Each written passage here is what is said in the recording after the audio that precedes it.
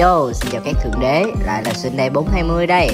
Hôm nay, Sunday muốn giới thiệu đến các thượng đế bông thủy tinh BTT 405 Được làm từ thủy tinh với độ dày 3mm cùng bộ lọc chùm thông minh.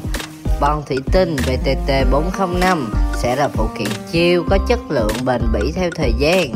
Đây sẽ là người bạn đồng hành lý tưởng cùng các homie trong các chuyến phiêu lưu. Với chiều cao tầm trung chỉ 25cm và chất thủy tinh chịu được lực va đập đáng kể. Homie dễ dàng gói ghém cẩn thận bon thủy tinh BTT 405 vào túi để đi chiêu.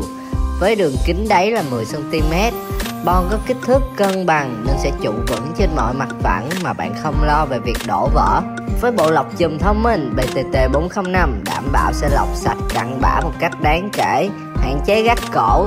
Bon thủy tinh BTT 405 có thiết kế nhiều màu khác nhau. Bạn tùy chọn màu theo cá tính sở thích. Cảm ơn bạn đã xem hết video. Xin đề 420, tiếp hay phụ kiện chất, nâng tầm mọi trải nghiệm của bạn.